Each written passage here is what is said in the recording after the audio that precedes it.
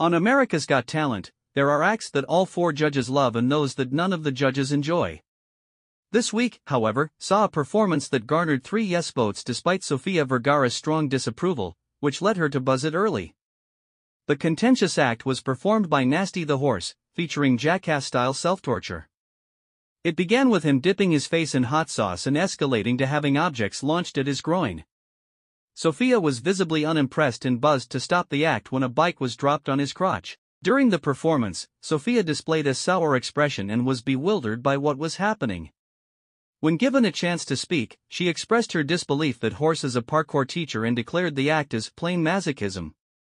Horse, however, sought his performance as his destiny, to which Sofia sarcastically responded, It's a call from God. Despite Sofia's objections, Howie Mandel, a fan of jackass style antics, loved the act and gave it a yes.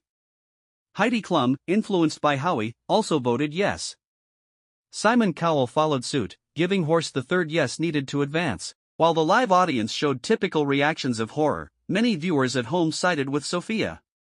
Some expressed shock at Howie's approval, questioning his judgment given Horse's background as a teacher who promotes safety.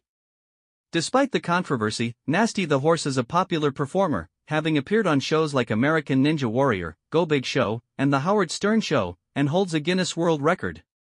What are your thoughts on Nasty the Horse's performance on AGT? Do you think it was a fitting act for the show? Share your opinions in the comments below.